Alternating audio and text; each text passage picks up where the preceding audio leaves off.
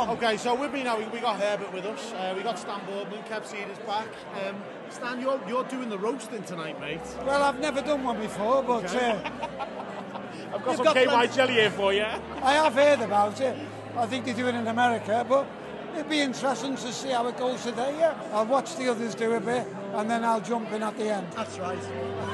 Best way to do it. But I'll follow Herbert. I'm not going on. Aren't you? I can't. I know. Herbert's going to do I know too much about him. Oh, right, okay. I do. Well, you said to me before, you know, what can we say about Peter? I said, well, you know, he's going to be roasted in there and they're going to be really horrible. We've got to say something good about him, but what good is there about There him? There must be one thing we've all each got to say nice about Pete Price, Stan. Well, I think I think Peter is a kind of fella. If you uh, if you if you give him lent him a thousand pound and you'd never seen him again, it wouldn't matter.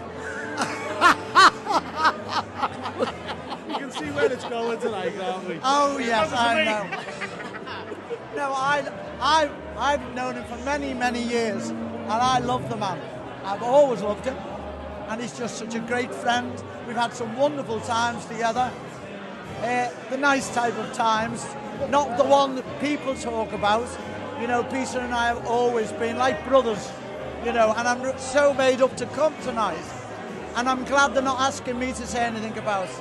Well, we, might, we might give you a little mic on the sly here, but I don't want to honest- slime. He my- knows he you want to knows more my- secrets about Pete Price than the news of the world. I'm, I'm shocked, really, Herbert. I would have thought you and him must have had a roasting at some point. Has he ever roasted you? He has never roasted me, and I've never roasted him.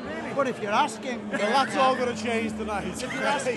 Herbert, Stan, Kevin, thank you. Uh, Well, I think it's going to be a good night. We hope it's right. Pete's been around for a long, long time. Very long. And uh, Too long. there's lots of things that all these people in this uh, hotel know about him, which hopefully the police are listening in. And let me tell you, he's never been on a springboard in his life, but he knows all the dives, doesn't he? Oh.